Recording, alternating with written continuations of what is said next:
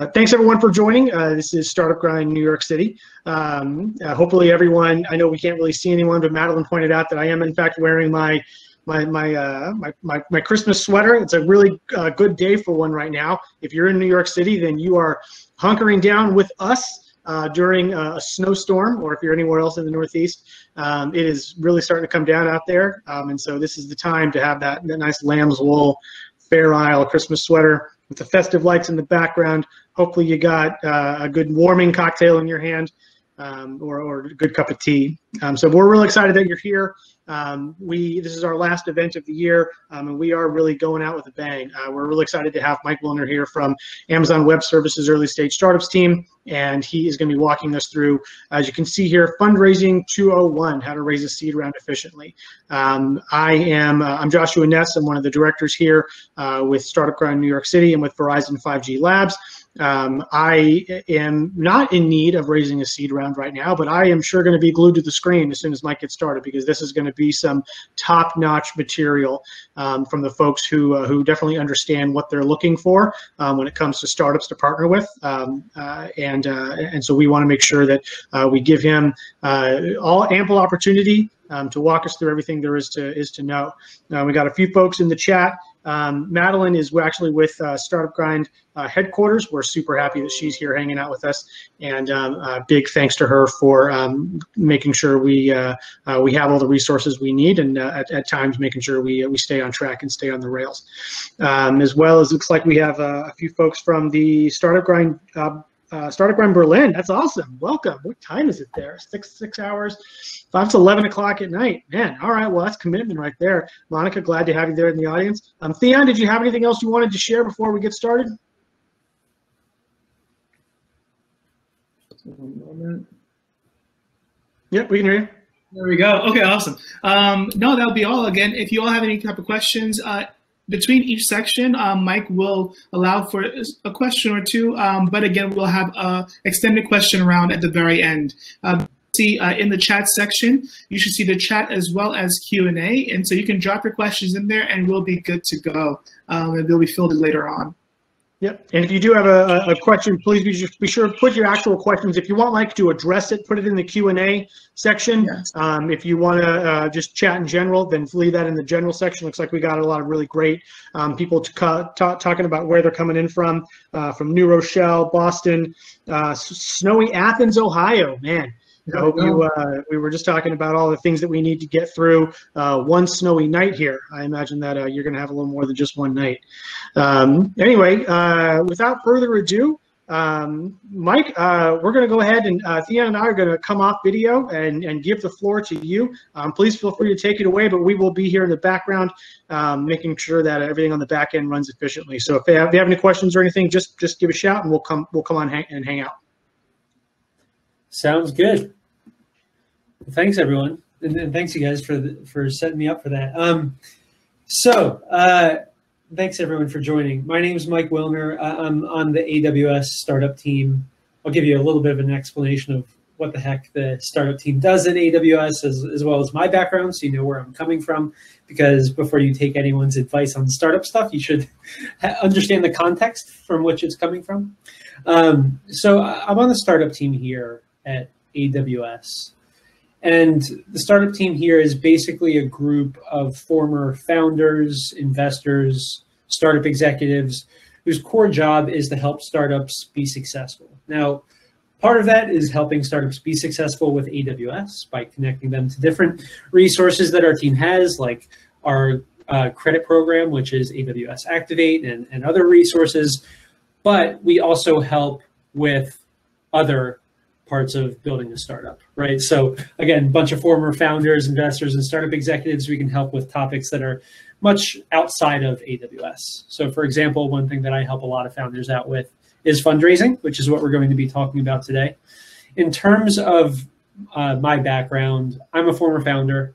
So I was a Venture for America fellow back in 2013, was in Detroit working for startups for two years, uh, ended up starting my own startup in Philly in 2015.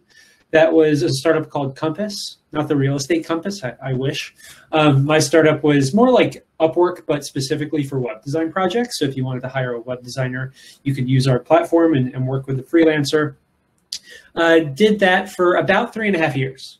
Um, went through the process of raising around a million bucks, growing, doing really well for a while, uh, then hitting uh, some pretty hard uh, growth ceilings and having to pivot the business.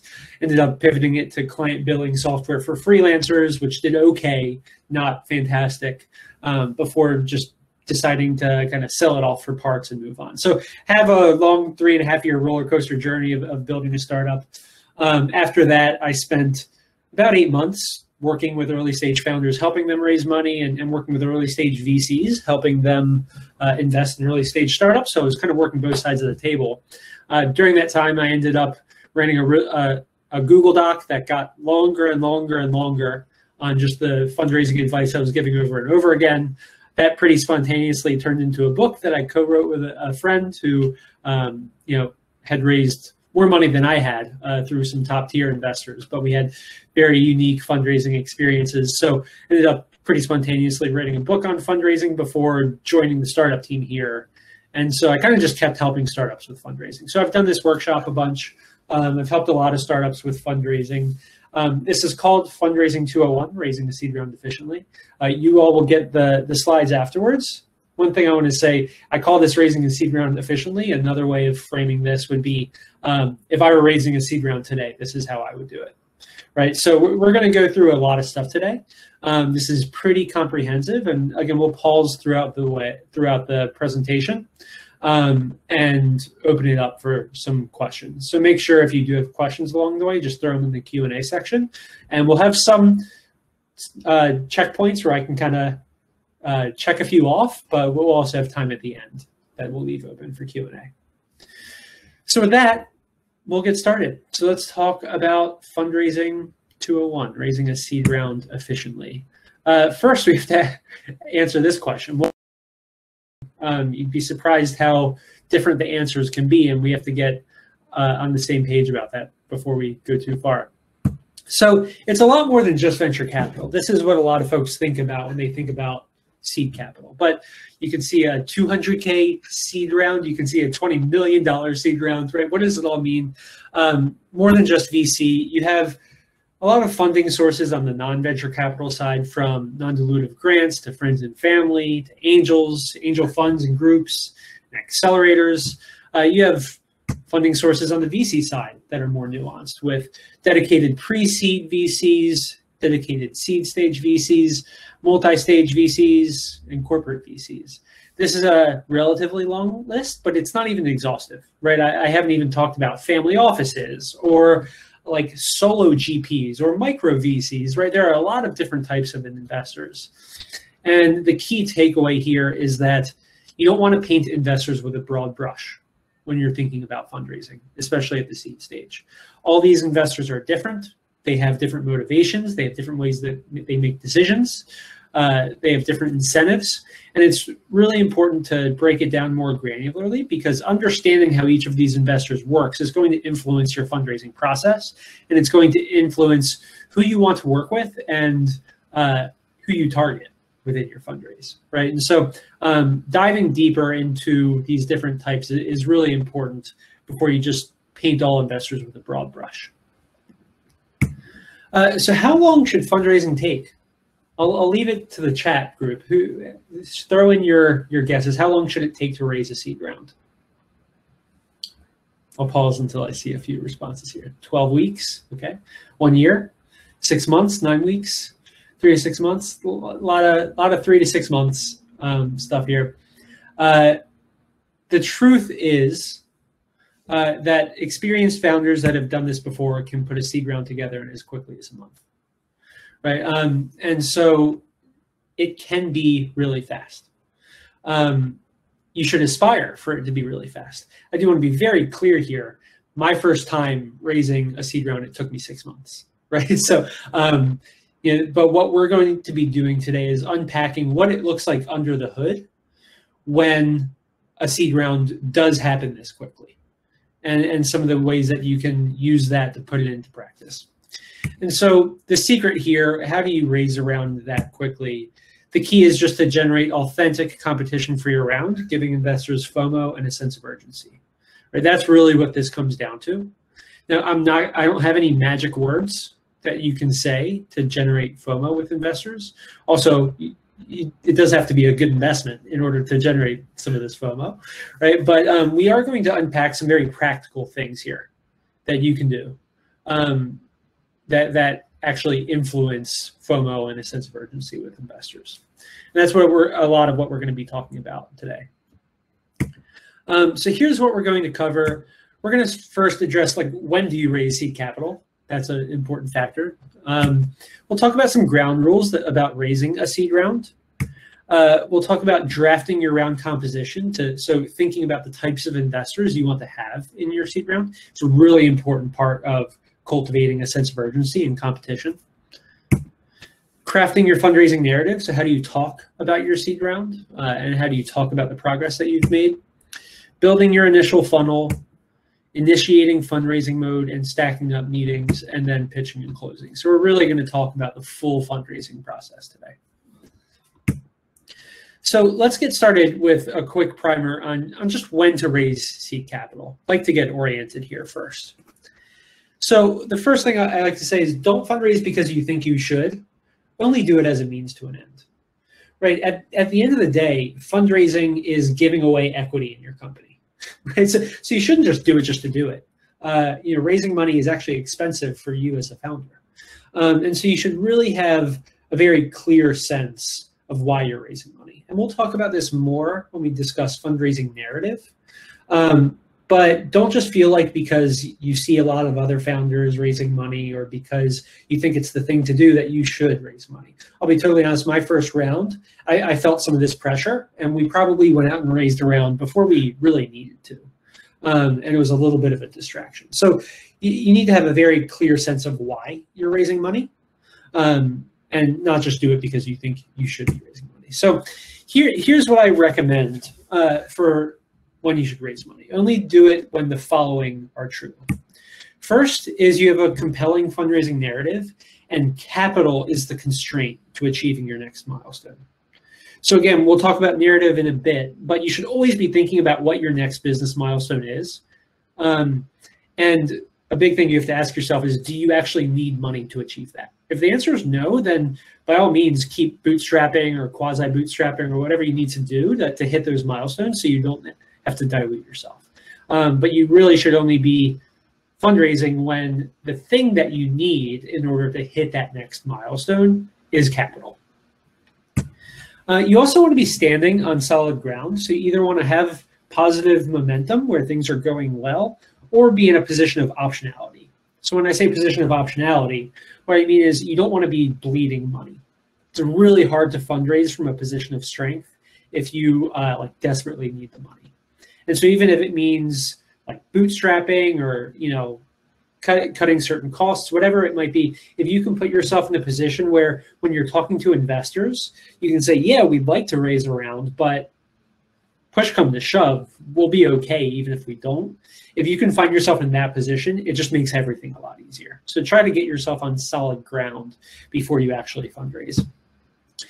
You also should have a strong conviction that you'll be successful doing it. Um, this is one of the big secrets here is, is experienced founders when they go out to fundraise it's not a huge risk. They're not taking a huge risk. Um, they know some investors who are already going to be in. Um, and before they kind of open things up they they know that they're going to be successful. So you can never know for sure. Um, but you should have really strong conviction that before you set out to fundraise that if you set out to fundraise you will likely be successful doing it um, so let's talk about some ground rules for raising a seed round. Assuming that you now want to go out and raise, we'll talk about some ground rules, and then we'll pause for some some questions that might be stacking up. So, rule number one with fundraising: you're either in full fundraising mode or you're not at all. Uh, this needs to be black and white. It, it's really easy to get caught in the gray area here. Usually, the way that gray area happens is, you know, you're talking to people, you're networking. Someone offers an introduction to an investor. Sounds like a good person to meet, so you you take that introduction. They ask you some questions. Next thing you know, they're asking you for a deck. So you're putting together a deck for one investor. That's not a fundraising process right. That's just kind of reacting to, to one investor. Um, and so it's it's really important that you're very clear about whether you are fundraising or not. And one of the best possible things you can say to an investor is that you are not fundraising. So if you've not done the homework and you've not really been intentional about you know flipping the switch and going into full fundraising mode, by all means, tell investors that you're not fundraising and just talk about the business and see if they can help you and use it as an opportunity to build a relationship outside of the ask for money. Right. Um, this is one of the best things you can say to investors. It'll make them want to talk to you more. It'll make them want to stay closer to you. Uh, and it's just the truth. If you're not yet ready to fundraise, you shouldn't feel like you need to fundraise just because you find yourself uh, talking to an investor. So be very, very clear about this. And um, ultimately, you're going to need to turn the switch on at some point. And that's a really important piece of founder. And you only want to turn on fundraising mode when you are good and ready to do so and ready to move really, really quickly. Rule number two, fundraising should be one person's full-time job. So one of the reasons that fundraise my first fundraise took me six months is because I tried to spend 50% of my time focused on fundraising, 50% of my time as CEO. Um, mediocre during that period, right? And I wasn't able to build enough momentum to make the, the round move quickly uh, because I was, uh, you know, so split. And so usually this is the CEO's job. I've seen it be the COO's job in some cases. Um, but really, it should be one person managing everything. Uh, this, you know, you can have co-founders that are maybe helping make introductions, but it really should be one person at the company that is kind of shouldering this burden so that it doesn't become a distraction for others and so that you can have just consistent communication there. Uh, so yeah, and one of the things here that's tough is the first thing you need to do is delegate operational responsibilities right? So one person needs to be able to spend like 80% of their time uh, focused on fundraising. Rule number three, fundraise in parallel, not in sequence, and put yourself in a position to say no to investors. So what I mean here is, when I say not in sequence, you shouldn't be going to one investor trying to get to a yes or a no, then going to another investor getting into a yes or a no. You need to be managing a funnel where you're you're talking to many investors simultaneously or in parallel, right? And when I say put yourself in a position to say no, what I mean is that well-run fundraise processes, at the very end of them, founders find themselves in the very awkward position where they have to tell investors who want to write a check that they can't. There's no more room, right? And, that's when you have to actually uh, have a very robust funnel, um, and, and, then you can actually you know get to that point. We'll go into building the funnel and building that pipeline later. Um, but th- this is really what you need to do in order to create that sense of urgency. Uh, we'll talk about this later. This the, what I use here is the three by one rule for fundraising in parallel. This means that you should have for every spot on your cap table that you have available for the round, you should have three investors in final diligence. Uh, getting to that ratio at the bottom of your funnel is a very mathematical way to ensure that you are instilling that authentic uh, competition for your round and that FOMO, right? You don't have to make up any magic words or say any magic phrases if the reality is that there are three investors in the final stages for every spot available. And that's the equation that we'll work backwards from when we start talking about building a funnel. Rule number four, time kills all deals. So this applies to individual investors and it applies to your round as a whole. So with individual investors, the longer you give someone to think about it and consider the investment, the higher the chances that they're going to say no. At the early stages, good investors can get to a yes pretty quickly. So if you're giving them forever and not giving them any, you know, urgency, to make a decision, they're just going to drag it along, and, and the chances are going to go up that they're going to say no. This also applies to your round as a whole. So the longer that it takes to fundraise, the harder it's going to get. Right? If you're fundraising for a month and things are moving really quickly and you have momentum, then there's going to be this sense of urgency that folks have. But if you're fundraising for three, four, five months, it's going to start to become a negative signal to investors that there must be some reason why it's taking you three, four, five months to put together a round, right? And so this is again why it's really important to compress this time frame. Um, even if you end up spending a month or, or two preparing to fundraise, but you are not fundraising, right? Um, and then you you turn the switch on after one or two months of prep and you know nurturing relationships, and then you fundraise really quick. You do want press the time that you're around to as tight of a window as possible, so that you can move really really quickly and have really high momentum throughout this process.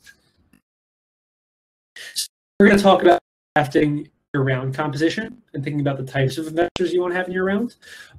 I am going to and take a look at this Q&A field. Um, ooh, a bunch of stuff here. Um, great. Uh, really good question came in here. Here, uh, they say if you uh, approach for someone for money, they'll give you advice. If you approach someone for uh, advice, they'll give you money. But if you're in full fundraising mode, approaching someone for advice is uh, subterfuge. How do you get around this riddle? So we'll talk about this a little bit more.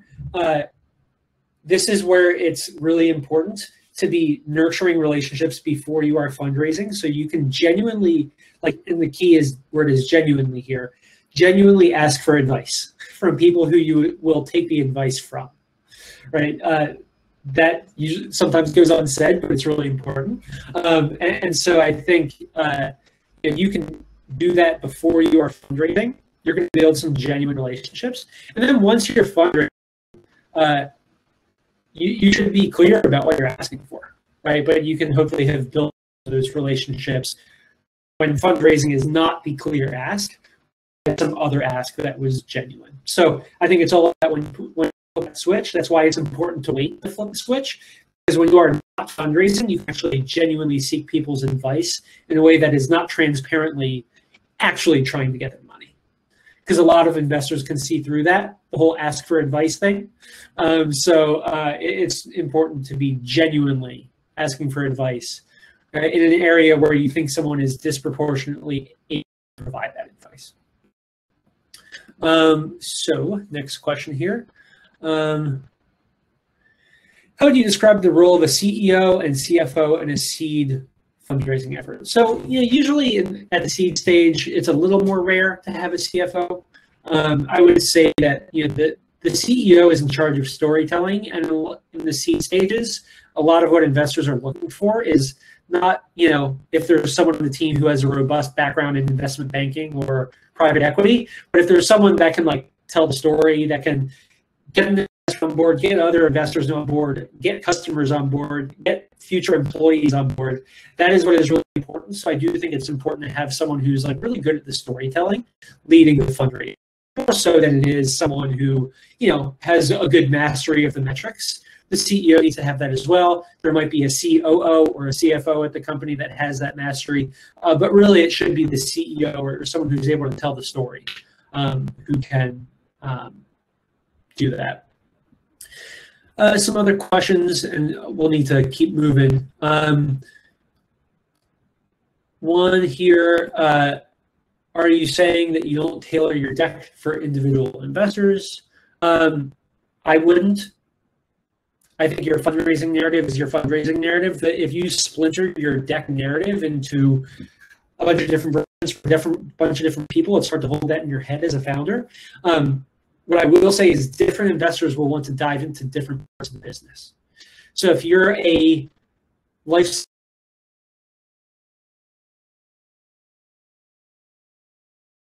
one investor who is a machine learning focused investor, another investor that's a life sciences focused investor. They're going to have different things that they're going to want to dive deeper into. Your higher level narrative should be consistent, but you should fully expect that you're down one rabbit hole with one investor and another rabbit hole with another investor. But I would the high level narrative really be consistent for every investor you're talking. Uh. All right, lots of questions coming in. Um, we are going to talk, some of these questions we are addressing later. So uh, I'm going to keep moving here.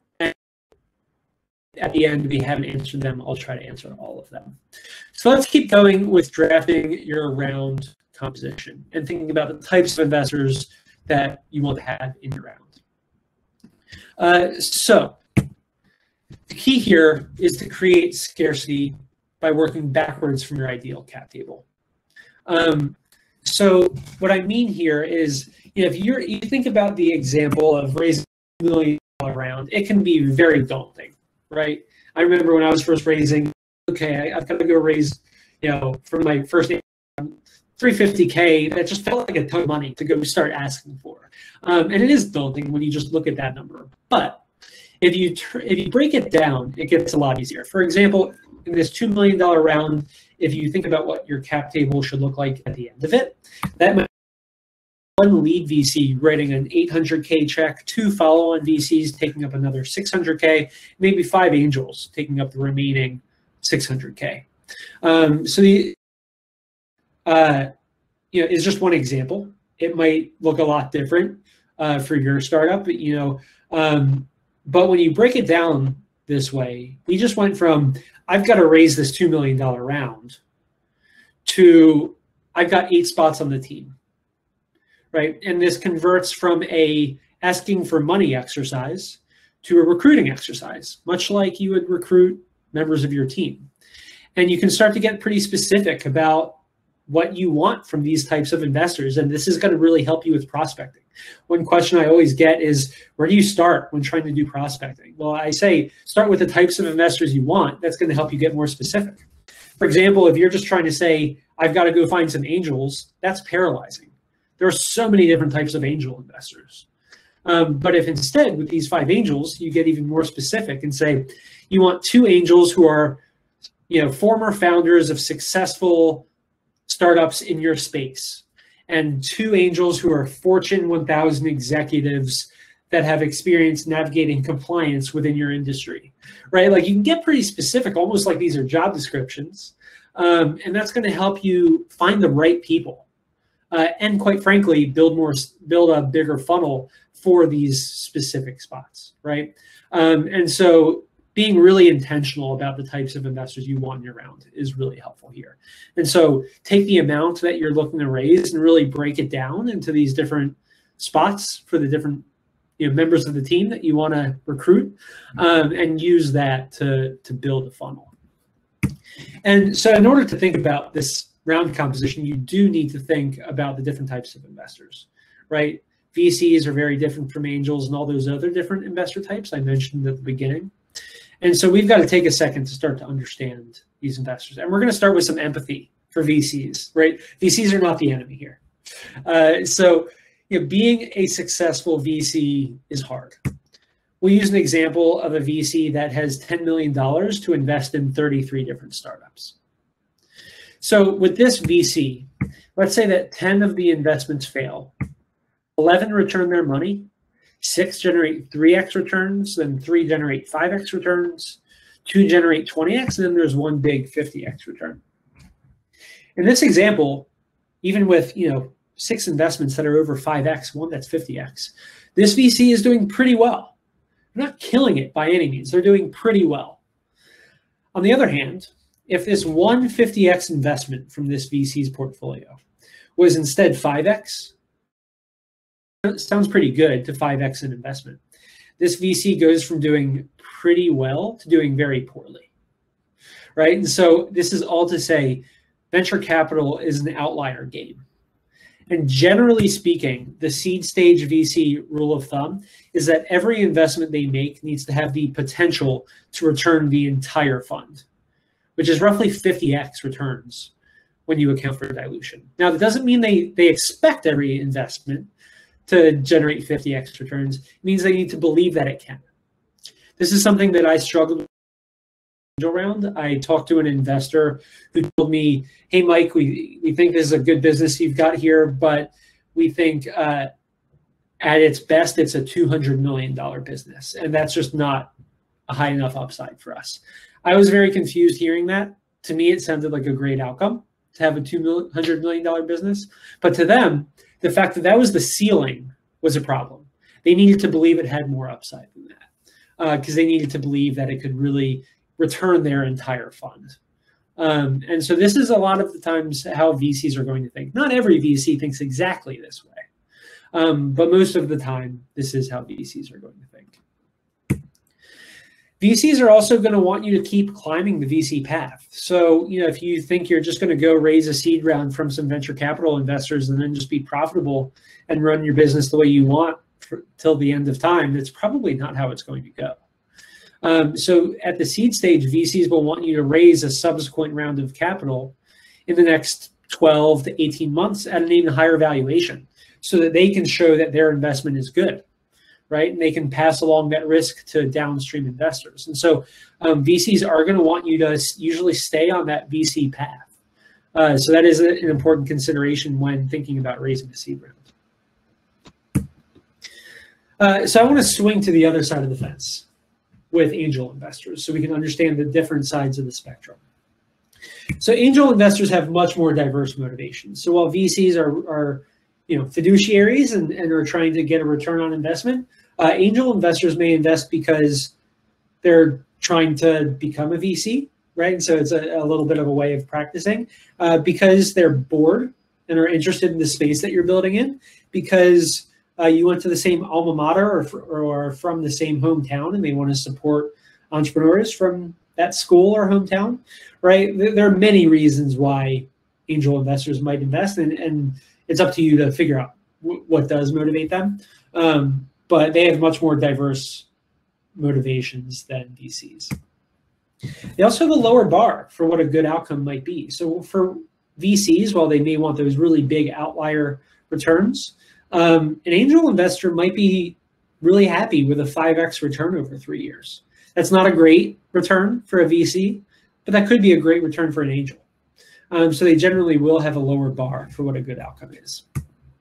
And angel investors are much more likely to be more passively involved. So while VCs might push you to make certain hiring decisions, may push you to raise subsequent rounds of capital, may push you to make other decisions, uh, they might take board seats and actually not just push you to do those things, but have the ability to literally push you and influence you to do those things through their voting rights.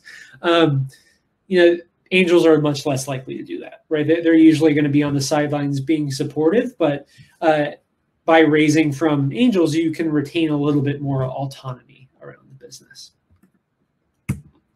Uh, so some takeaways from round composition before we uh, go into some other questions. Understand how the investor's business works, right? It's important to understand how they think on the other side of the table, um, no matter what type of investor they are. Make sure your goals are aligned with the investors, right? If they want to grow a business crazy fast and you want to be more conservative or vice versa, um, then like it's not a good fit. And you should make sure you're thinking about what success looks like for them and make sure you're aligned. Be deliberate about the types of investors you want in your round. Again, this is an opportunity to recruit from your team. And so don't just think about this as raising money. Think about who you're trying to bring on the team and why and draft your round composition before you start talking to investors. Keyword here is draft. Um, you should fully expect that you, know, you, may come up with this round composition, and as you go through the fundraising process, it might change, might evolve. Your thinking might evolve. The people you get introduced to might cause you to make different decisions. Um, but having a sense of this before you start talking to investors is going to help you with prospecting. It's going to help you come across as more experienced when you talk to these investors and, and talk to them about where you think you think they fit into your round rather than just you know letting them dictate that um, it's going to really help with the whole process if you draft this before you start talking to investors. And so next we'll talk about crafting your fundraising narrative.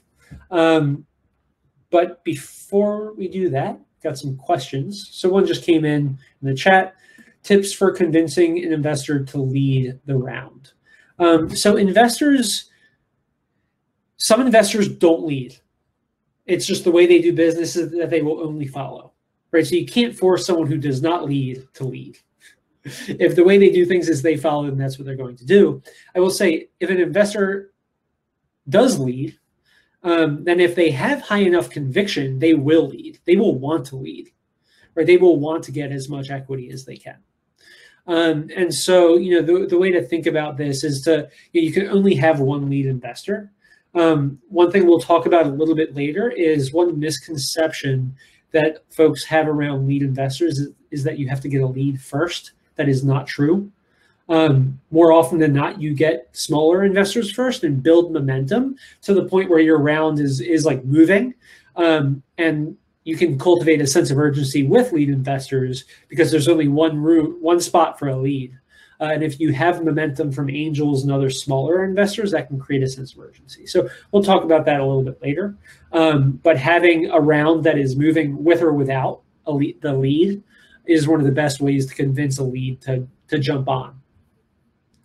Um, other questions that came in.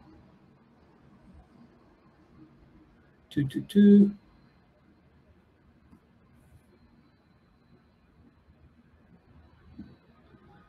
Just trying to. Okay.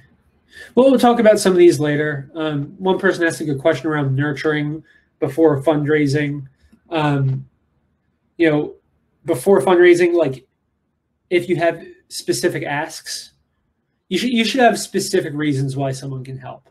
We'll talk about this a little bit more later, um, but uh, we're going. You know, a lot of these questions we're going to address in a bit. So I'm going to keep moving.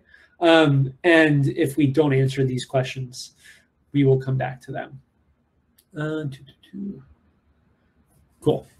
So let's talk about crafting your fundraising narrative. Uh, this is important to a lot of things, including valuation, which someone just asked about. So crafting your fundraising narrative. What is a fundraising narrative? It's not just a pitch deck.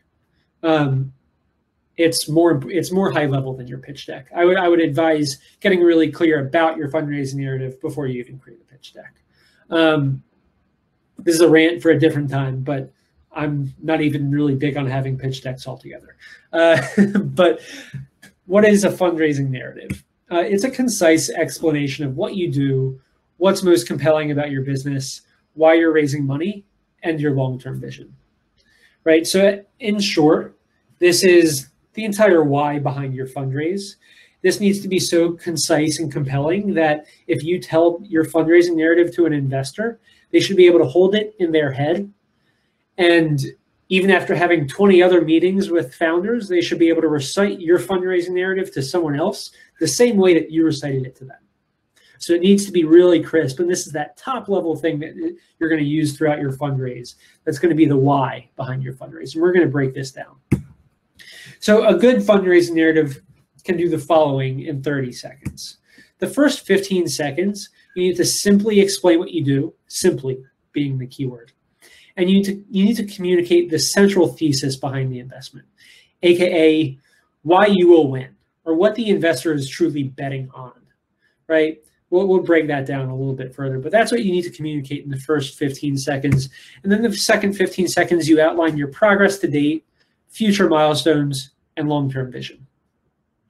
So uh, we'll go through some examples here. Here's a bad example from a real startup I worked with. Um, well, I modified it slightly so you can't pinpoint the startup uh, of an explanation of what they do. So I want everyone to read this and throw into the chat if you have a guess of what this company does.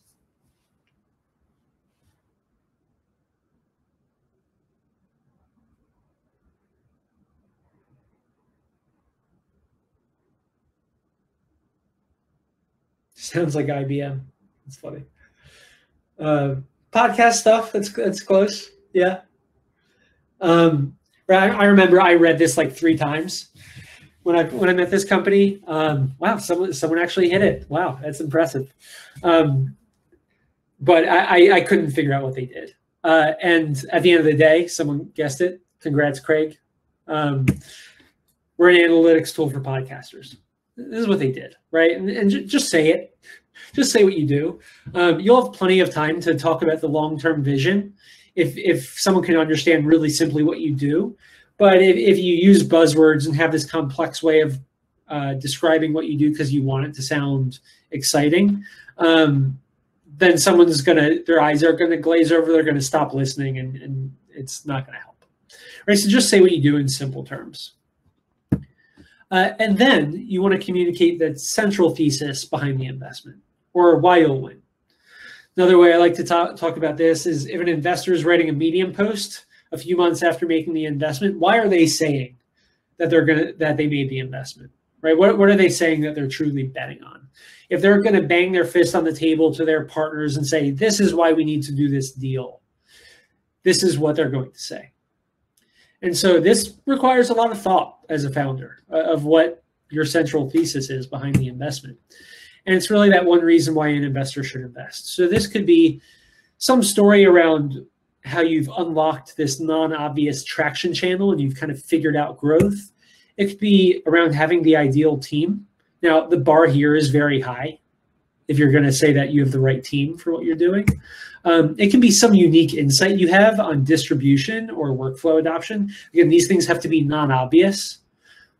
It can be a case study proving incredible efficacy, right? If you can show that your product is just revolutionary for your customers in a way that like, you know, gives people, pardon my French, uh, like an oh shit moment. Um, like that that's that's what you really want to go for or customer feedback that shows you've built something that people love right? These are things that are like you know really they make someone's eyes open um, and that's really where you have to get to with this central thesis. Um, so here's an example with our uh, analytics tool for podcasters. We're an analytics tool for podcasters and we're a team of former podcast producers who produced five of the 20 most downloaded podcasts of all time so this is an example of using the team as that core thesis. This is basically saying, hey, we're an analytics tool for podcasters. And assuming that there is a market here, we are the team to do this because we've seen what this looks like at the highest level. Right? And that's that's what you as an investor are betting on, that this is the right team to work on analytics tools for podcasters. Um, and so that, that's really what you need to think about. And this can be a bunch of different things, and this requires a lot of thought about what this is for you, but it is that central thing that someone is betting on. Next, you want to articulate milestones of de-risking to show your progress and future plans. Um, and so what I mean here when I say milestones of de-risking is you don't want to jump to vanity metrics. A lot of folks think that you need to you know, say you have $1,000 in monthly recurring revenue or $5,000 in monthly recurring revenue or $10,000 in monthly recurring revenue. The truth is, at the early stages of a startup, $1,000, $5,000, $10,000 in monthly recurring revenue, they all round down to zero, right? It's not about those metrics. It's about what they represent and what you've actually figured out and what you've actually de-risked about the business. Investors at this early stage are professional de-riskers, and all they do is assess risk. So when an investor is looking at your business, what they are thinking about is what has this company de-risked and what is the big risk that they are currently facing on this trajectory. And so if you can speak that language, um, you're going to be able to tell a really compelling story. And so what you need to do is talk about your progress to date. So what have you figured out about the business? Again, even if you have $5,000 a month of recurring revenue, it's not about the revenue number. It's about that you've shown that people are willing to pay for your product and they're doing it on a on a you know monthly recurring basis, right? And then I have a bunch of other questions about okay, how often are they using it? But it's more about what those numbers represent, not just the vanity metrics themselves. So what have you figured out about the business? The next milestone, what is the biggest risk you need to address? So what is the next thing you need to figure out?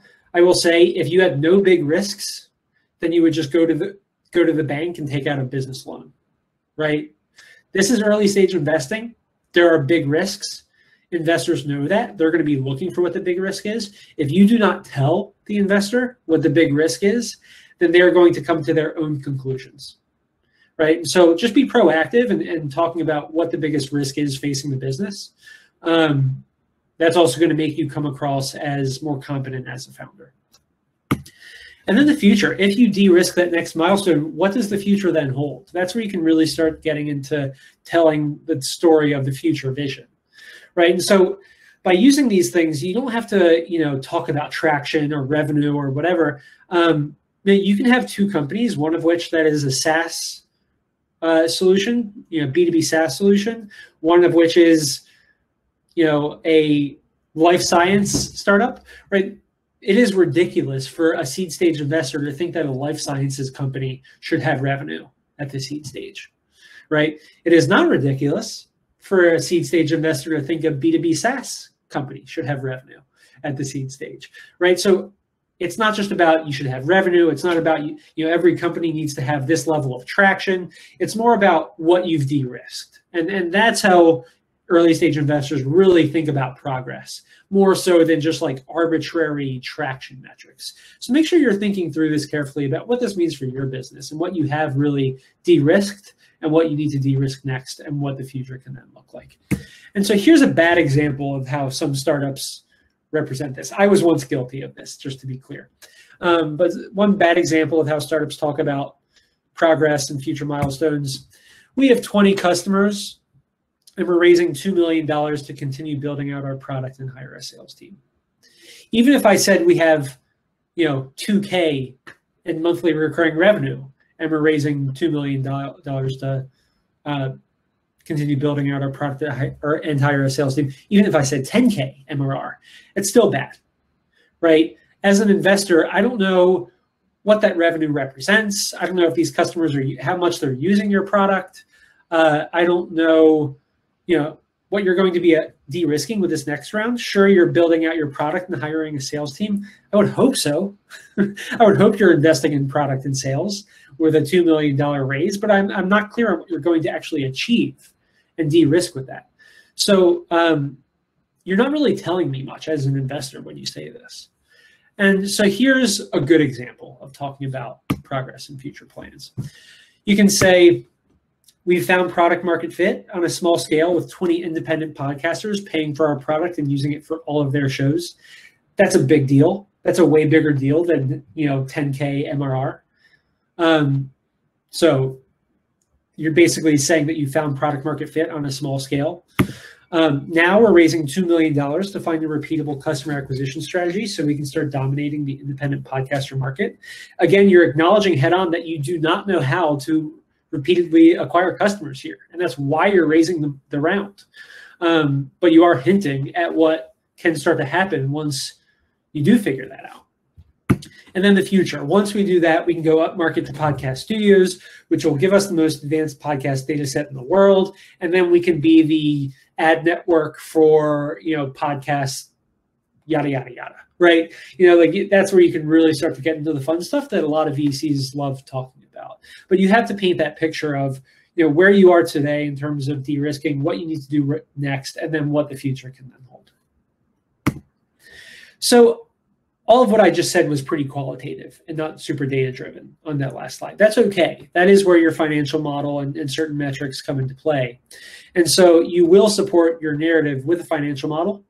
Um, and the first goal of a financial model is to tell the ver- to, to verify the story that you're telling with metrics. The second goal is to show the assumptions that you that you're making. So a good financial model at the seed stage doesn't show five years of robust metrics because the truth is you're just guessing.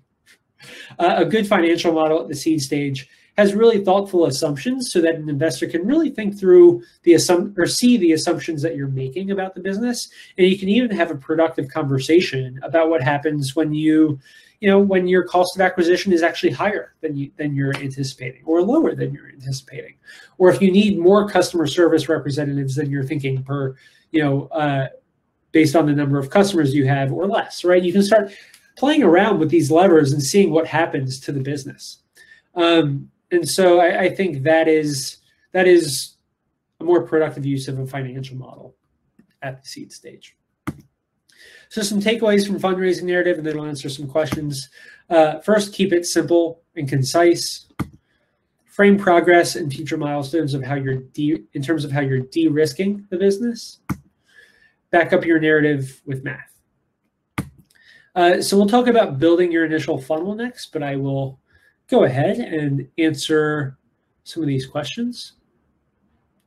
Um, someone just asked how detailed will be. Uh, I would say really just like a profit and loss statement, maybe a cash flow statement, just because you know cash flow is important, and then an assumptions tab. The assumptions tab being one of the most important ones, so you can really talk through like here are the key business drivers and key assumptions that are going into you know the, the financials that you're seeing as outputs in the you know profit and loss income statement and cash flow uh, cash flow statement. Um, someone just asked. Usually, here real product market fit is really hard to reach. What else can we use for de-risking? Yeah, so I think you know, look, if you find true product market fit, uh, like in a scalable way, that's more like a Series A milestone, right, where you're re- able to really grow. Um, and so what you can do is like you can de-risk distribution. One thing that I, I've talked to for like for founders who are, let's say, building a hardware product where the, the product development cycle is just pretty long, right? What you can do is you can build a community of your customers, right? And, and build like a Facebook group or a Slack group or or whatever. And you can say, hey, we've actually built this community of customers that are providing feedback on the product. And we actually have a, a big network of customers that we've built through this community we've created that actually is our built-in distribution once we have a product that we're ready to go to market with right? So you can be a little creative with doing things in parallel and limiting the dependencies on getting like true product market fit. So building a community so that you've kind of de-risked some of the go-to-market is one way. Um, you can run certain small experiments to understand what distribution channels are actually going to work for you or not right? So you, if you have data to say, hey, we ran these experiments, we know that by pulling these levers, once we are ready to start scaling, um, that this mix of uh, this referral program and you know this direct to consumer channel and this other thing uh, can be a way that we go to market. So it really depends, but you can be creative in how you're de-risking uh, the business by reducing the, the de dependencies so that you have like data where you can say, look, we've de-risked all these different parts of the business. Um, you know, there are these things that we need that we're still figuring out, um, but you can see a lot of what we've de-risked. And it's also important to think about what is the biggest that you need to de-risk. So it's okay to do like little things independently, but there's got to be one overwhelming thing that you're you're always looking to de-risk, and that's less just fundraising advice, more just startup advice. Is attack that area of the, the biggest risk. Um, another quick question on financial models. If not five years, what would make sense? Yeah, two years is fine. I, think monthly detail is good. I usually like to think about assumptions on a quarterly basis right? So you might say like, hey, in Q1, this is what we're going to be really focused on. And so therefore, this is what the assumptions are going to be uh, during that quarter. Whereas, you know, we're going to be focused on experimenting with X, Y, and Z in this quarter. And so our assumptions are going to be a little different. But someone should be able to see on a monthly basis what things look like so they can see what your burn is going to be and, and other things like that. Um, switching to the question tab. Uh, just a reminder, we are going to share these slides. Um, so uh, that usually keeps getting asked. Um, examples of big risks at the seed stage. Um, yeah, I'd say at the seed stage, big risks are like around customer adoption. That's something that a lot of founders often overlook. Even if you have cus- like if you have proof of demand for your product, um, and even proof that customers are willing to pay, getting proof that customers are not only willing to pay, but you can get them to use your product and use it successfully uh, is a really big risk that a lot of startups overlook right? And so to for a seed stage startup, if you're able to say, hey, not only do we know that customers want to use our product, um, but we know that they want to use it, they're willing to pay for it, and we can get them from wanting to use it to using it successfully within four weeks. That's a big freaking deal. And a lot of startups fail because they have customers that are willing to use their product, they or that want to use their product that will pay for it, but they're not able to figure out that adoption hurdle. Right? There's some block. This was one challenge that I ran into with my old startup. Is like we had people that we were solving a problem before they wanted to use it, but there was one little wrinkle of like fully adopting the product and integrating into their workflow that we weren't able to prove. And that's one thing that I look at a lot when I'm thinking about, uh, you know, uh, early stage startups is, you know, do I believe that not only this is something that's solving a customer pain point that people are willing to pay for, it, but can it be adopted in a way that will allow it to build momentum? So that's one of the big things I look out for.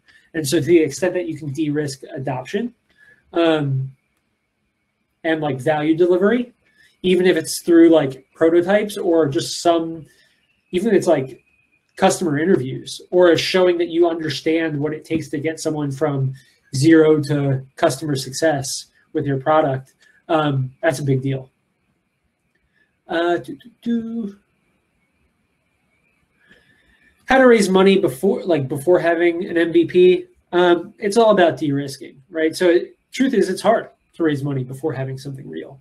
Um, if you can show that you have the right team and you've de-risked like the team to build this build a product in the market that you're building in, then like you might be able to raise pre-product.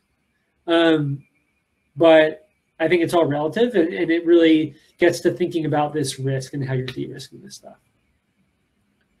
Um, doo, doo, doo. okay, I am going to keep moving, uh, and we'll, we'll continue to. Uh, let's see here. Actually, one more question just came in. For startups building networks where there's a cold start problem, the chicken and egg problem of data and users, funding needs to be used for solving that puzzle. Hard to de-risk that. Yeah, like this, this is the chicken and egg problem of a lot of marketplaces, right? Like if you're building a marketplace startup, and and uh, you can get creative with that.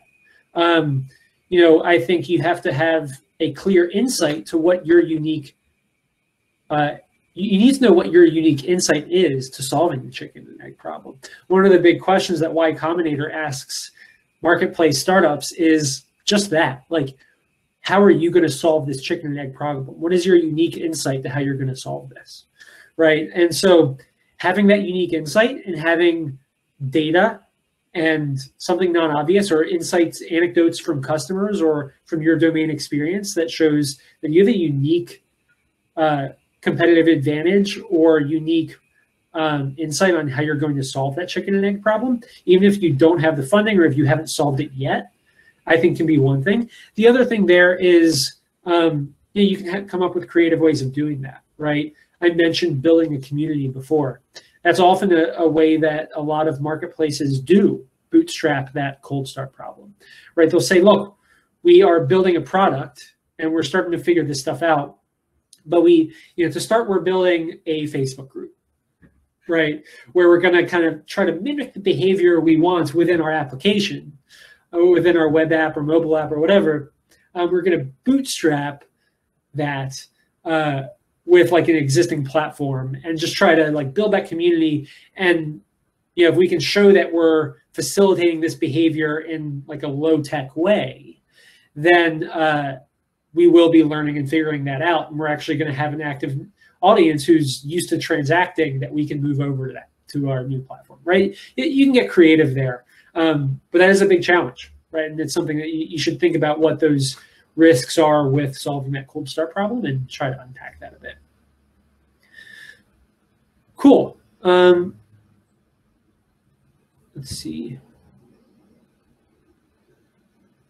Larry, I'll come back to your question in a bit. I want to make sure we're getting through all this stuff. So let's talk about building your initial funnel.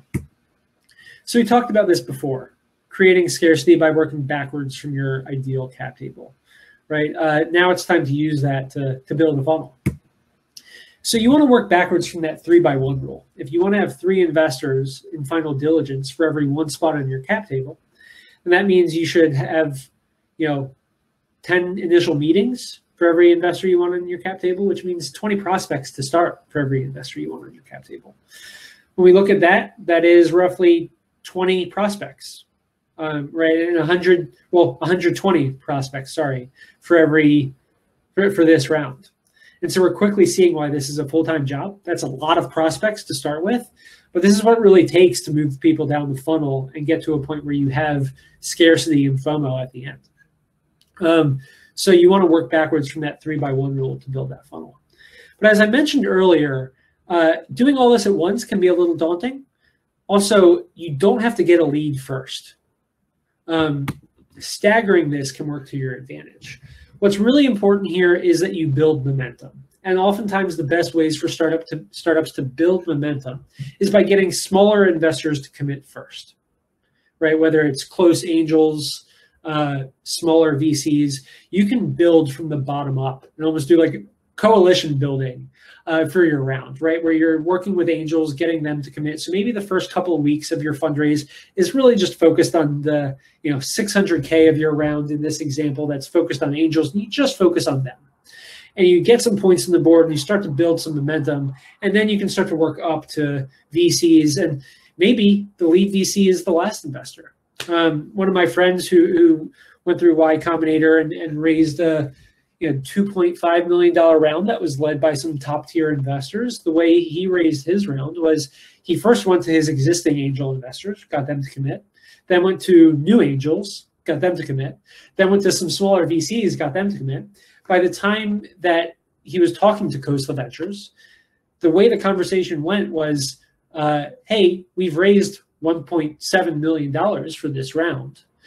Uh, we would love for you to be the cherry on top and lead this round. Um, and like have you in. If not, cool. We'll go back to some angels and get them to fill in the rest, uh, and like get back to work and get back to building this business. So you, you convey the sense to the lead investor that the train was moving with or without them, and that's what investors really want. They don't want to be the one that is making all this happen. They want to get on something that's already moving, right, with or without them. And so uh, that's where staggering and building this momentum can work to your advantage. So when talking about prospecting, people are more important than firms. A lot of folks jump to the brand names that they want, um, but people are more important than firms. Fundraising is about relationships. Uh, ultimately, there's going to be a human that you are doing business with for many years, right? Uh, they're going to have to advocate for you within their firm right? If it's a VC. And so it, it all comes down to relationships. So don't think too much about like brand name firms. Instead of think about the people that you want to be working with. Um, focusing on people is also just more effective than firm hunting, right? You might, you know, if you're if you're working top down with firms, you may be missing people that are like really interested in what you're building. And there might be some firm that you have not heard of, but that is perfect for the type of startup that you're building right? And by working through the people who are most likely to be really excited about what you're building, you're going to find your ways to the right investors. Um, also, people have different roles and investment focuses at VCs. So with roles, you know, an associate has a different role than a venture partner, which has a different role than a principal, which has a different role than a partner. All those different types of roles have different levels of autonomy and the ability to make investments, right? So you know, I think associates can be really helpful with with your fundraise, but you shouldn't be having five meetings with an associate, right? um, you know, so I, understanding what those roles are really important. Also, different partners within a venture venture firm might invest in completely different areas. So that's why it's really important to understand who you're talking to and why, um, because they may have different investment focuses. So, question came up before uh, is a big question. Where do you find these investors? How do you get this list together? How do you build, build your funnel? So let's talk about prospecting tactics for a second. First, good old fashioned research. This is a screenshot of Crunchbase Pro, which you can use to search for investors based on what school they went to, their past employers, where they live. So it's a really good way to start to find investors who might share things in common with you. This is Crunchbase Pro, but there are a lot of other tools out there like Signal, AngelList, lots of others.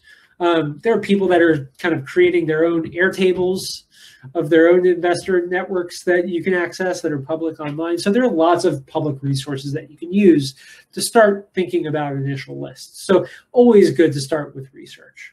Um, but what I will say is by far the best tactic is other founders. And this is not just peer founders. Peer founders who are also at the seed stage, sure, really great to, for, for this as well. But what I'm more so talking about is founders that are ahead of you in the startup life cycle. Um, if you can build relationships with startups that are a year or two ahead of you in their startup life cycle and, and those founders, then those founders, they already raised the seed round, right? They, they just went through this process six to 12 months ago. They're going to have really good first party intelligence around who you should talk to. Not only will they have like good insights, but they'll literally have spreadsheets that they made when they were managing their fundraising process. So when I, when I was raising my round, I, I, had a friend who was literally just a year ahead of me in in his, in his process.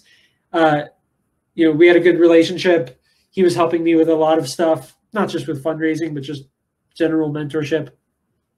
And when it came time for me to raise a round, he introduced me to some of his investors and introduced me to some people that he met through his fundraising process that did not invest in his round one of the one of his existing investors raised invested in my round. One investor that did not invest in his round, but that he met through his fundraise, invested in my round.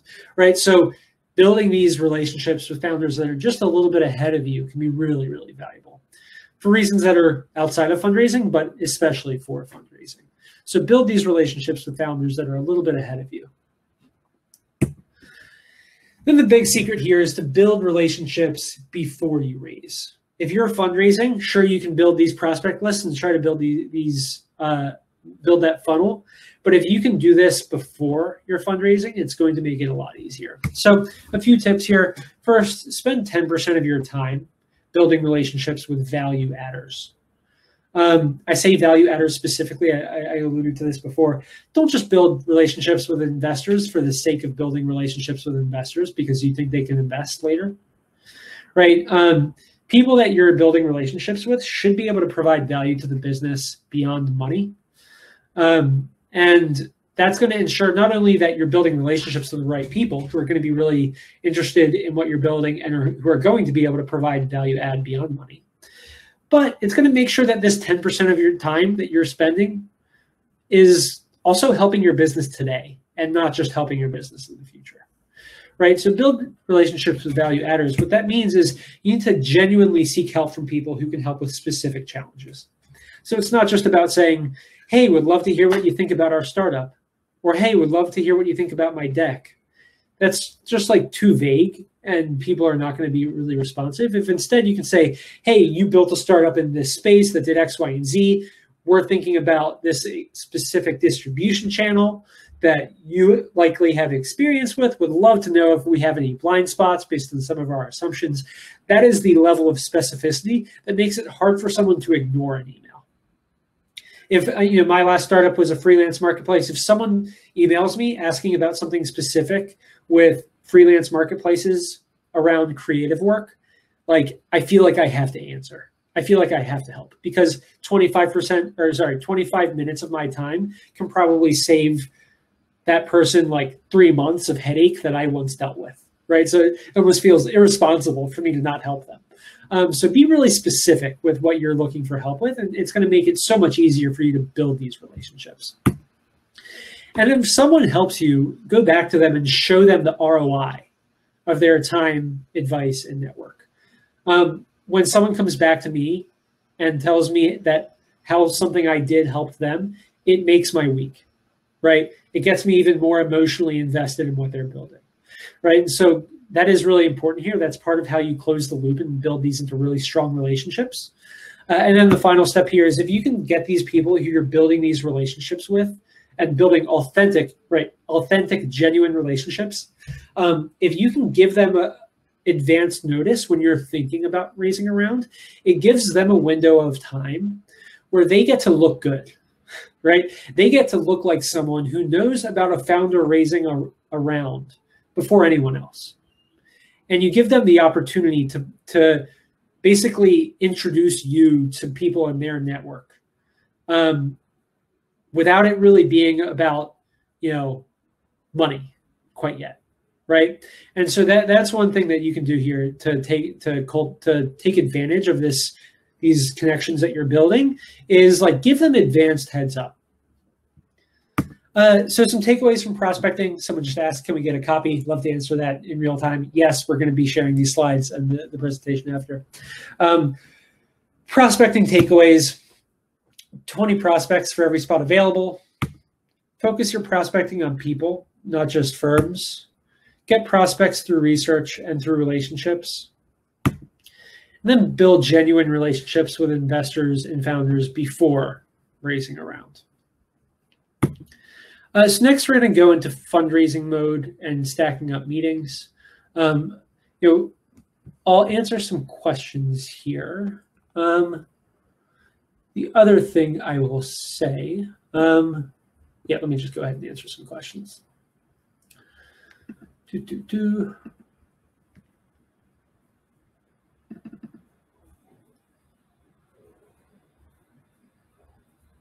Let me just see. Key fundraising tools for seed round. Uh, I'm about to talk about that. That's a that's a great segue. We'll, we'll talk about that literally in, in like two slides. Um, we have a bunch of different verticals, should we just pick the largest focus on that for the pitch and ignore the others? Yeah, I mean, I, I think this this is less of a fundraising question, more of a strategy question. I think you know one thing that I see with, with narratives and just strategy in the early stages is if you can talk about your like initial vertical, which is your beachhead market, and talk about how you're going to really nail it there and then how you're going to be able to spread to other verticals. Starting with more focus, especially at the seed stage, is better just so, because you can tell a more clear story. Whereas a lot of times when founders start with too broad of a scope in their narrative and strategy, um, it can just result in investors having a lot of big questions. Is pre-revenue typically a pre-seed round? Pre-seed and seed aren't necessarily about they're correlated between pre-revenue revenue and they're correlated with stage. It's more about the types of investors you're targeting and the round size than it is um, you know the, the, progress right? Like uh, so you know pre-seed and seed are more marketing messaging. Uh, i actually have another workshop on valuations uh, which is where that those terms are more important that I, I can share with this group afterwards. Um, do, do, do. Uh, some of the other questions, uh, what, when nurturing relationships, what are the do's and don'ts of what you share and don't share? Great question. We're, we're actually going to talk about this in a second, but I do want to address it head on because it's a really good question. The way that you talk, the way that you give information should be correlated to the depth of the funnel. So at the highest level, if you're just sending an intro email, you should give the least amount of information if you're in the final diligence, you should be giving all the information, and everything between should correlate. So we'll talk about that more. Um, but that's a uh, really good question, and the rest of the questions I'm about to tackle. So let's dive into initiating fundraising mode and stacking up meetings. So you've built up these relationships, you've warmed these things up. You, now you're ready to turn on fundraising mode, right? So this is the first step: is kind of warm things up first. Now you want to turn on fundraising mode. The first thing you need to do is make sure you have your materials ready.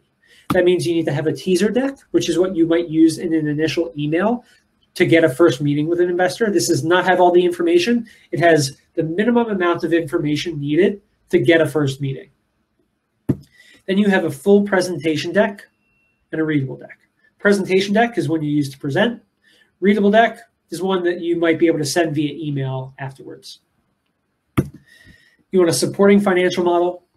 You also need a safe or convertible note. The reason you need all this stuff is on the off chance that someone says yes, right? Um, in, in, the off chance that you have meeting and someone says they want to invest, you want to be able to get that money in the bank as soon as possible. My first round, the first investor I talked to who, who said yes uh, was ready to wire the money right then and there. Took me a week to get that person the convertible note. It ended up taking me four months to get that person's money in the bank, which included two surprise visits to their office that I arranged with their secretary without them knowing. right? So uh, have all this ready so that you can move quickly. Don't create friction for yourself. So have all this up front. Then you want to quietly close at least one investor using some of those close relationships so that you can have at least some momentum, right? There's a big difference between having one check in the bank and zero. So quietly close one investor and then turn on fundraising mode. And when you turn on fundraising mode, you should try to be getting try to be getting as many warm introductions as possible to your prospects as you can. So warm introductions are always preferred. But I want to be very clear about this. Cold emails do work. Uh, my biggest investor came from a cold email. The key is they have to be good cold emails. Bad cold emails are very bad and can burn bridges and can actually result in even if you get a warm introduction later and someone you know checks their Gmail inbox and saw that they got some kind of spammy email from you three weeks earlier, that can burn a bridge, right? So a good rule of thumb is that a good cold email should take you 30 minutes or more to write. It should be well researched. It should refer to something that you've read that is personalized to the, that person. It, it should be really personalized, concise, and clear about why you should talk to them, why they should talk to you. Right. So um, if it takes less than 30 minutes to write a single cold email, then it probably is not thoughtful enough. Uh, so that's a good rule of thumb here. But I will say good cold emails do work. Yeah, lots of investors don't respond to cold emails, but good cold emails do work if you can't find a warm introduction. And once you get this process moving, you need to keep filling the top of the funnel. The last thing you want to happen is to get midway through this process, half your round is filled, and then you look at your funnel and you're like, uh oh, I forgot to stop filling it. Uh, and now I got to go kind of kickstart this whole fundraising process again, right? Literally, if, if you think the last check in your round is going to be wired in like three minutes, you should still be building the top. Like until all the money is in the bank, please, please, please keep filling the top of the funnel. So now we'll, we'll talk about pitching and closing. I'll get through the rest of this, and, and then we'll open up the rest of the time for Q and A. Um, if folks do have to leave, I'll just kind of leave my information. Um, uh, here's my, you can connect with me more there um, if folks do have to leave early. Uh, and we'll send follow-up information. But uh, cool, pitching and closing. Uh, so let's talk about this. Uh, oh, sorry. Let's talk about goals for the first meeting. So the first goal is discover if there's goal alignment, right? In the first meeting with an investor, if there's not goal alignment, then don't bother going any further. Just move on. Second, learn about their decision-making process. The reason this is important in the first meeting is because one, this will tell you how fast they can move. And so you'll know down the road if you, you just can't push them to move as fast as you want to push them, or if they're dragging you along right? If they say that they can make quick decisions and it's taking them weeks and weeks to get back to you, then clearly you're getting getting strung along.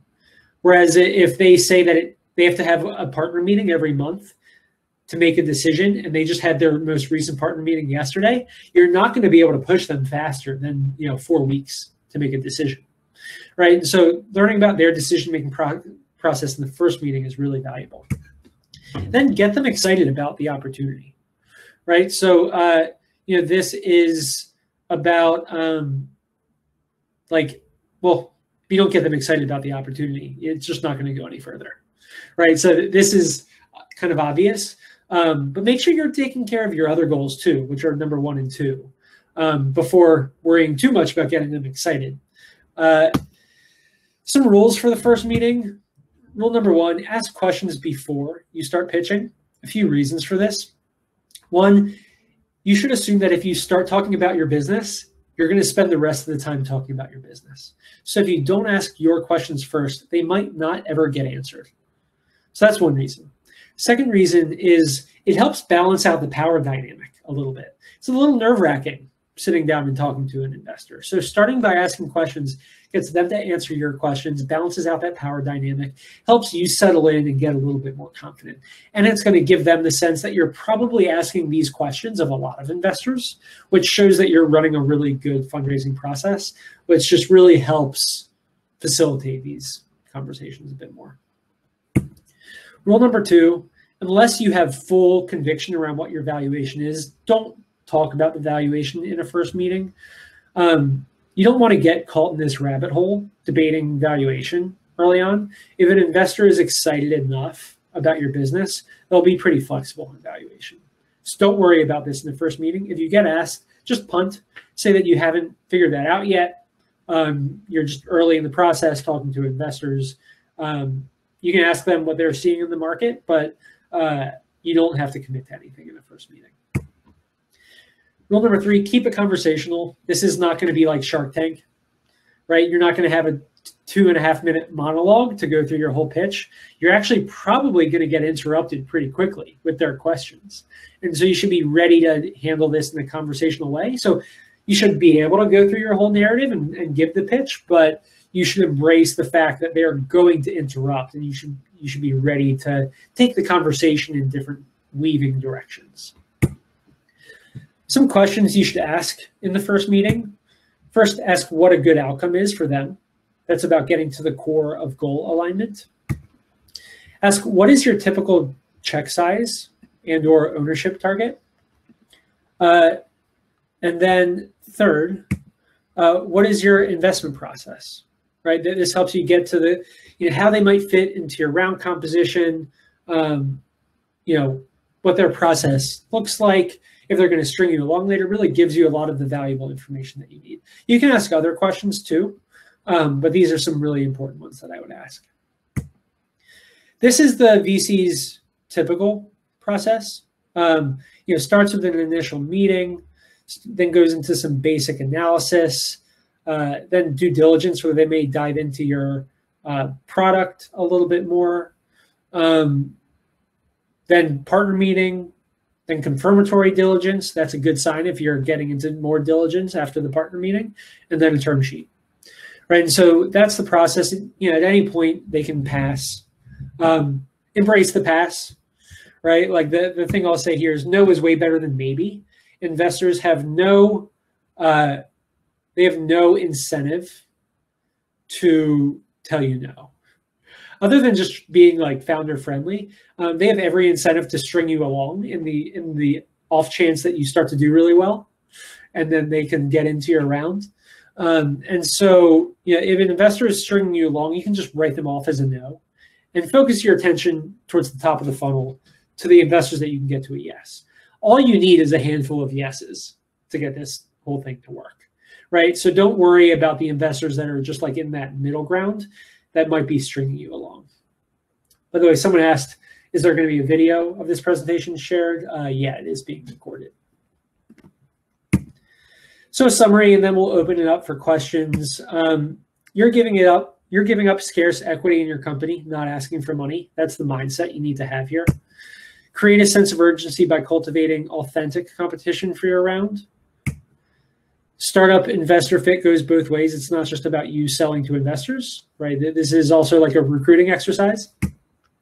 Build relationships before you need to fundraise.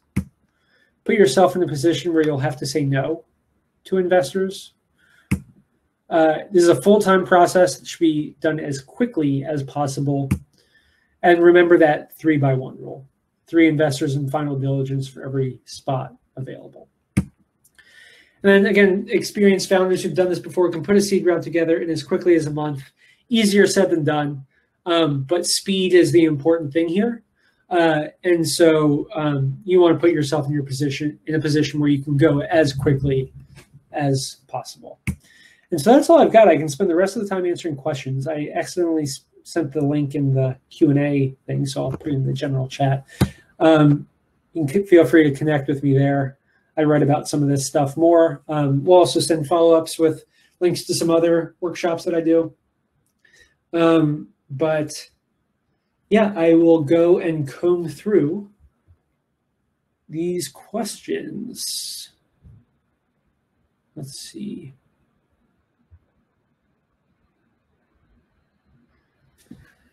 What kind of diligence can you build up if there is no financial evidence yet? Um, yeah, so uh, you know, I would say financial evidence is just data, right?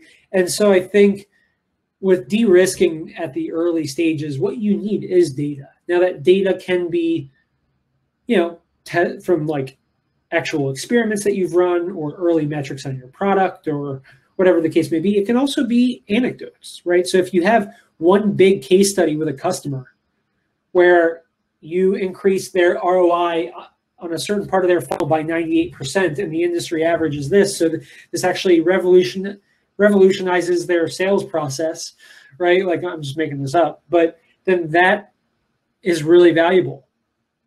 Um, now, an investor may have questions about like, okay, that's one customer, great.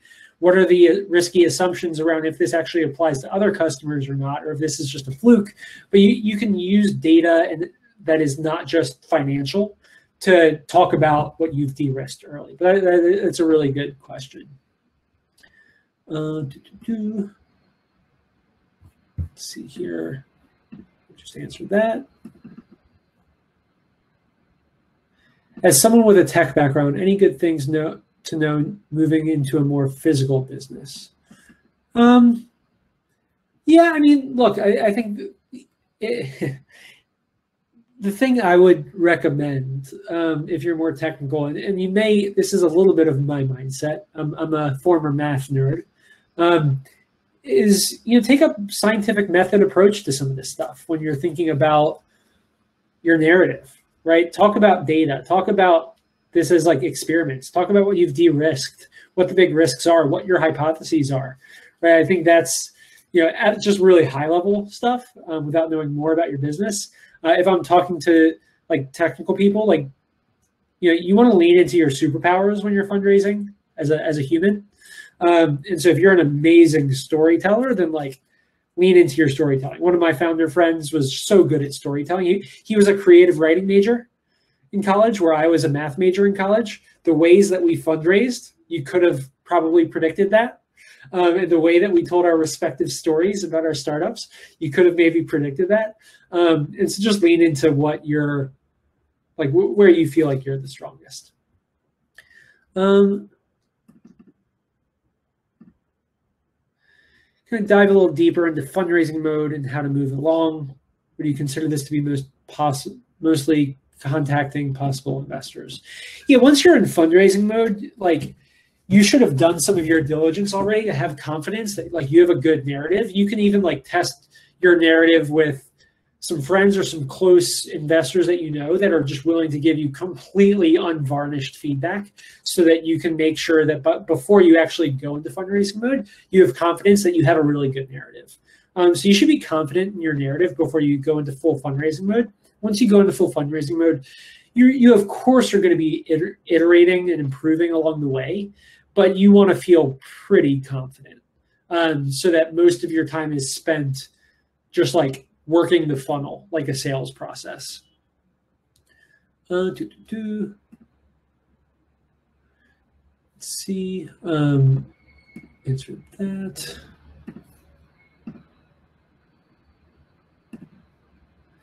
Uh, disclosing bootstrapped investment number, how important is it? Yeah, I think, um, to be frank, it's not that important to investors investors don't really care how much well they, they might care a little bit to know how much skin you have in the game but sometimes it can actually be a negative thing honestly. Like if they if they if they think that you have not made that much progress relative to how much you've invested in the company that can be a negative signal. Um, and so uh, i would just say investors don't really look that much at it. They more so care about like where the business is headed. They're investing at this point in time right? So it, it doesn't really matter how much you've invested to a new investor. They just want to know that they can get their equity target at a valuation they're comfortable with and that they believe that it's going to be a good return for them. Uh, How can we get in touch with me? Um, I just uh, sent my I was I sent my website that you can check out and follow up with me online. But uh, also, we'll just send out more information about how to get in touch with us after through Startup Grind. Um, let's see. What are what uh, uh, what are some ways to develop relationships with investors when there aren't events, Christmas parties, and local tech meetups, like what's going on right now? Um, again, this is where it's important to have specific asks, right? You should have something. You should have a challenge facing your business where you like really want to get some good advice from someone who has experience with that then using that to then go and find people who might through like previous startups that did not investors directly but just successful founders who are further along they are going to know investors who you can talk to so not just focusing on building relationships with investors but people who just are, are well networked who can help you with specific challenges that you're facing today. That is one of the easiest ways to start to cultivate your own network, right? But that requires thoughtfulness. It requires that you think about the, the things that you're actually going to listen to feedback on, right? Um, you know, uh, th- that's important, right? Um, but that that's I, I would come up with really handcrafted specific asks and then use that as a way to uh, you know, find people who can help with those things. Uh, what do I think about angel investors investing sweat equity? Um, yeah, I don't know. I, I think they're they're like they have to really have some skin in the game. It, it's easy for folks to like it's easy for folks to say that, like I, I can go and I'm just going to make this up.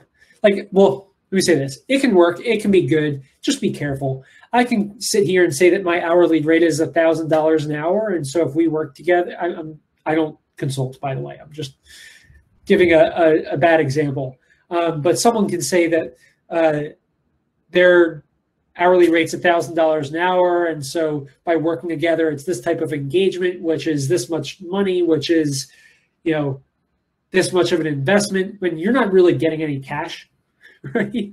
Um, and so like be careful with people like you know investing sweat equity and quantifying their expertise with dollar amounts. Um, just be careful there. Uh, doo, doo, doo. but otherwise like if you can clearly quantify it then by all means just quantify it as a dollar amount. Uh, but I would make sure that like you, you know, you're getting value out of the consulting hours or whatever that they're doing for you. Uh, what happens if some investors are accepting us at a certain valuation while others want a lower one? Great question.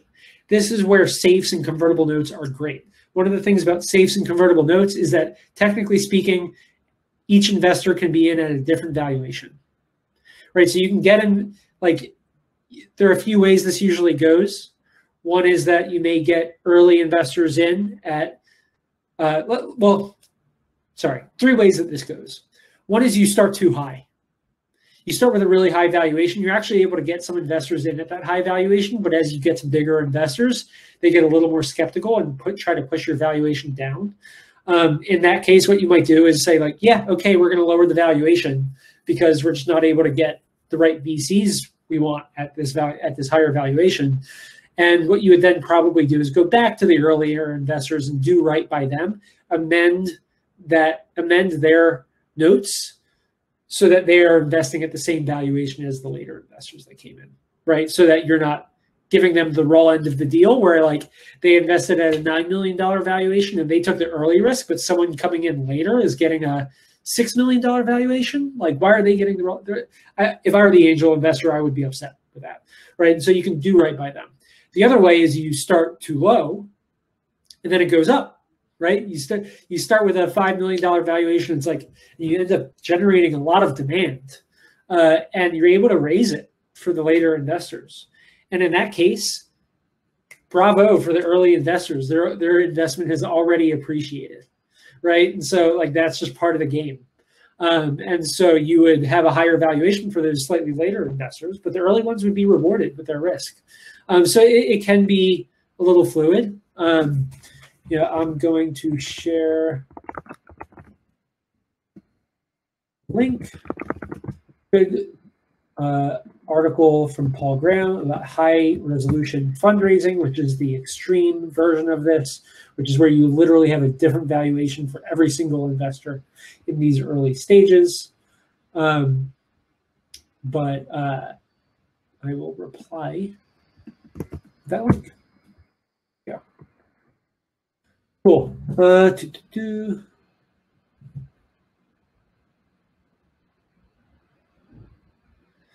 How do you recommend going about fundraising in the like early stage R&D and MVP building process?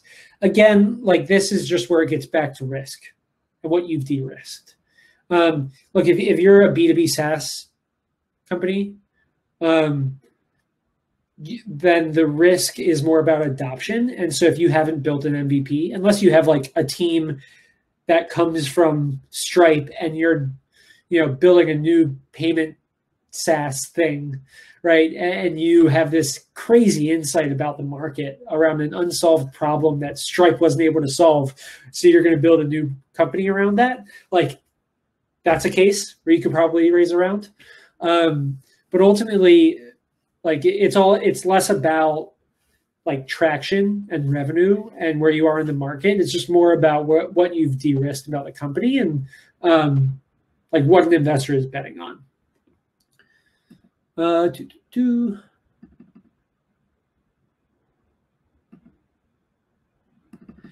Someone asked about depth of financial model. Um, you know, like your your profit, like just have one financial model. Um, it should go into a level of depth that all all investors are comfortable with. I once had an investor who was like, "Yeah, can we see a five year pro rata?" And um, I, I basically copied and pasted all the cells from two years out to five years out, and was like, "Look, this is early stage stuff. I don't know what's going to happen beyond the next two years, um, but like this is my rough estimation." So I, I just wouldn't get too deep into like robust cash flow statements. I think you know if you have a if your business is like if cash flow is a really important part of your business and you need to really understand that to run your business, then maybe you should have more in depth of a cash flow statement than just like a typical B2B SaaS company. Um, right? If, if dealing with inventory is really important to how you think about the key like business drivers, then you might need to have more depth there. I think it's like whatever you need to be a mastery master over your business. Um, and, and it doesn't need to be something that like, you know, JP Morgan would be like, yep, this fits our bar. It's more about just like, hey, do you understand your business at these early stages? Uh, someone asked, is it okay to use services of investment brokers for warm introductions? I generally recommend against that. Um, like ultimately, you should be finding people who are providing value beyond money, and investment brokers are incentivized to just find you money, right? So, um, like again, this is an opportunity not just to raise money, but to add to your team. And I, I don't think that investment brokers um, like are thinking that way at all. In my opinion, uh, is hiring an agency to build brand identity and creative direction uh, legitimate incentive to bring investors to the table? Good question. Um, yeah, I, I think uh, it depends on what you're building, right? Like um, if you're if you're like a boring shipping container SaaS management solution, no, right? like you know, your success is not going to be um, you know won or lost with branding. But if you're building a direct to consumer product, then having a really strong brand could be really important. And so I think it, it depends. And again, it comes back to risk. Like if building a strong brand is something that you need to show to show that you're, you know, you have really good progress, uh, and that they're going to believe that people are going to love your brand, um, then by all means, use that. Um, cool. Looks like the startup grind folks are joining back, and uh, lots of other questions that we may not be able to get to, but we'll send my information out so we can answer more questions if needed. Yeah, no, this was this was this was amazing, Mike. I uh, like I said at the top of the uh, at the top of the presentation, I'm not currently in a position to fundraise, but now you're making me want to go think of all these things I can do to start a company because uh, now I got the blueprint to go and raise money. Um,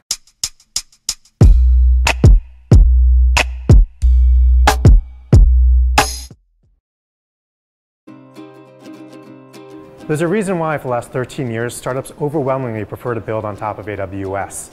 We have the largest number of services, making it easy for you to take on some of the biggest challenges with the smallest teams. We also have partnerships with the top VCs, accelerators, and incubators around the world, making it easier to secure your next round of funding. I'm a solution architect uh, with the AWS uh, EdStart uh, program. Uh, what we do is we work with startups in the uh, education sector and we help them build their um, uh, services on AWS. So We Power Tech is AWS's diversity and inclusion outreach program.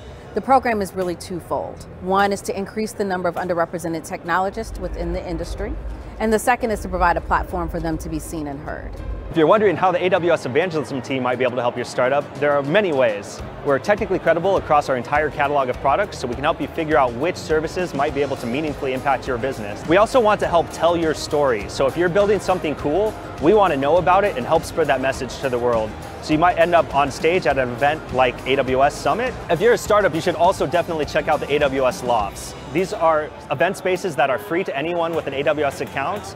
And you can treat them like co-working spaces, but the awesome thing about them is that we also have people like technical evangelists like myself, solutions architects that come and give hands-on technical workshops and sessions to help you learn how to more effectively utilize the AWS products and platforms that you're already building on top of. We are a dedicated team of people that love startups, that we just want to come and help you with whatever we can, whether it be technical or business focused. We are here to help guide you and make sure that you know you do have a say in what's going on. We do get your feedback. We do bring that feedback to the service teams. That is what we're here for.